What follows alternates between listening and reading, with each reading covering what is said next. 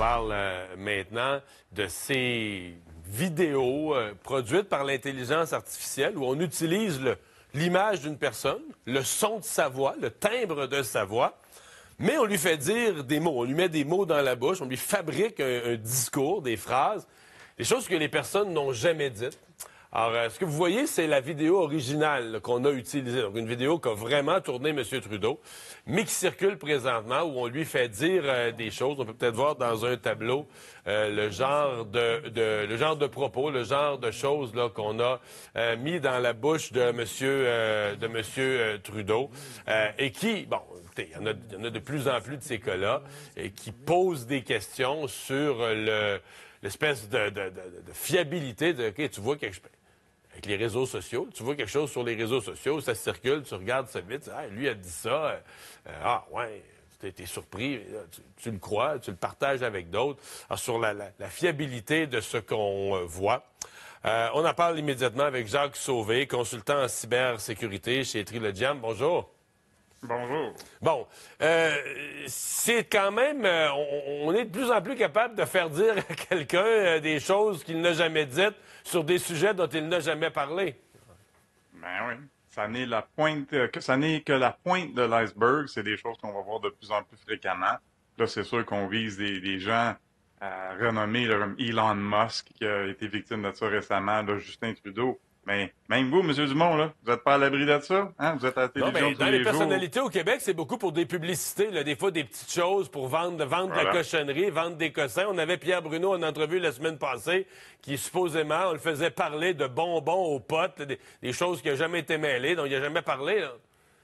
Exactement, exactement. Puis ça, ça va pas s'aller en, ça va pas aller en s'améliorant en passant. Là. Donc tout le monde être une victime potentielle, surtout là, des gens comme vous qui êtes à la télévision tous les jours. Écoute, on a assez d'échantillons de, de, votre visage, de votre façon de parler, là, que même moi, là, juste ces entrevues-là, ça, donne assez de viande euh, pour aussi bien méchant pour créer des deepfakes qu'on appelle. Est-ce que c'est reconnaissable? Est-ce qu'une personne avertie, capable, mettons vous, là, vous capable de reconnaître, non, ça c'est pas vrai. Outre, outre, le contenu qui, mettons, outre le contenu qui serait pas logique, là, qui serait pas censé, mais sur la forme, est-ce reconnaissable?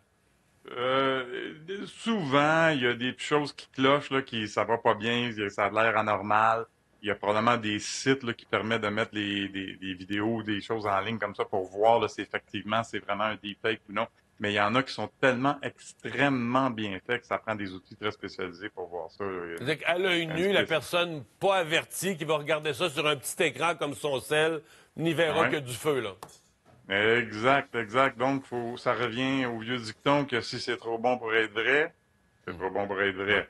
Parce que là, dans ce cas-ci, c'est pas banal. On fait parler le premier ministre du Canada. On peut voir l'extrait, là. On, lui fait, il verserait de l'argent, là. On, a, on fait annoncer à Justin Trudeau qu'il donnerait 100 000 aux gens. Oui, c'est ça. On peut faire dire n'importe quoi. Je pensais qu'il y avait une vidéo. Euh, mais on peut faire n'importe quoi. Puis là, dans l'article du Journal de Montréal qui rapporte ça aujourd'hui, ben, on parle de au Royaume-Uni, ils ont passé le Online Safety Bill pour essayer justement de légiférer ce genre de choses-là. Le but premier de la loi, c'était surtout de contrôler ou d'empêcher des enfants de voir des choses, con, contenu inapproprié. Mais ça va jusqu'à ce genre de choses-là. Euh, le problème, c'est qu'on peut pas juste légiférer. On a un problème de société. Là. On peut pas juste légiférer, dire c'est illégal de faire ça. Parce que les cyber méchants, c'est dans leur description de tâche de faire des choses illégales. Hein? Fait qu'ils autres, ils vont s'en foutre. Fait que là, ce qu'on essaie de faire, ou ce que le Royaume-Uni essaie de faire, et que les autres regardent, c'est de mettre ce fardeau-là sur ce qu'on appelle le big tech, les Google et les méthodes de ce monde. Hein? Mais on regarde, exemple, ah, Donc, leur donner le devoir de mettre en place des filtres, des systèmes qui vont reconnaître des deepfakes, des fabrications, et carrément ne pas les diffuser. Ben exact. Sauf que si on regarde, exemple, juste YouTube, où la vidéo de M. Trudeau avait été mise, juste YouTube, là, c'est un milliard de, de, téléchargements par jour de nouveaux vidéos. Comment est-ce qu'on va gérer ça? C'est pas un humain qui peut regarder. Qui va décider euh, qu'est-ce qui est approprié, qu'est-ce qui est non, qu'est-ce qui est légal ou non. Ça, ça demande un effort monumental. Et là, le, une des choses que le Royaume-Uni a dit, c'est que c'est tant que c'est accessible du Royaume-Uni, ben la, compagnie, même si elle est basée aux États-Unis, est responsable d'être conforme à la loi. Mais là, fait que là, quelqu'un comme Facebook, il dit, OK, ben moi, je vais plus diffuser au Royaume-Uni, je bloque Facebook pour 60 millions de personnes là-bas.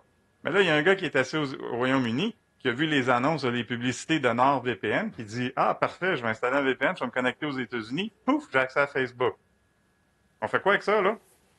Hmm. on a un gros problème, il va y avoir des chicanes de moment pas dans la cabane.